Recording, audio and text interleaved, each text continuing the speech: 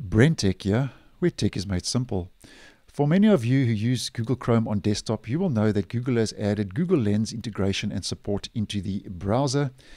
And the uh, Google Lens support and integration on Chrome for desktop, um, which I have posted on uh, previously on this channel, the Google Lens support um, in the browser on desktop up until this stage has lacked some of the more um, advanced features found um, in Google Chrome um, on iOS and Android.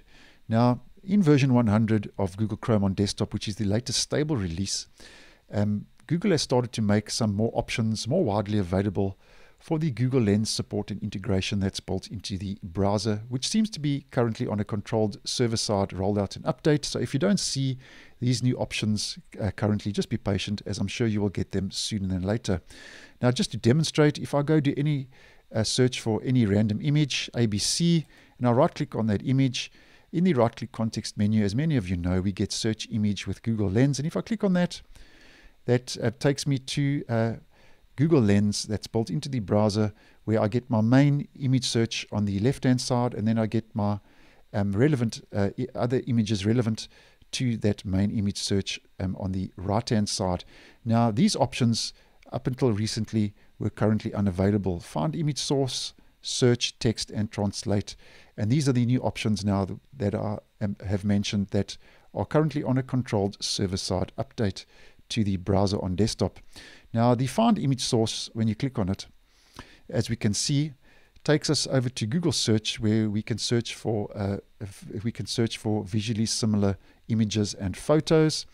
And if we uh, go back um, obviously, you get your main search uh, where we get uh, relevant images pertaining to our, our, main search as mentioned.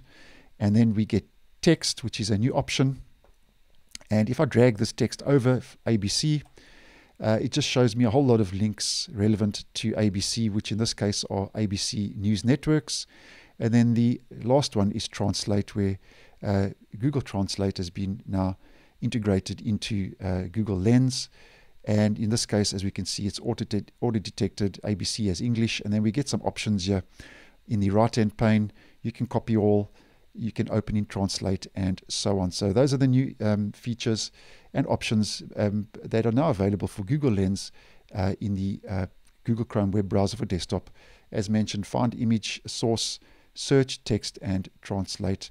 And as mentioned, those are on a controlled rollout currently um, as a server side update. So thanks for watching, and I will see you in the next one.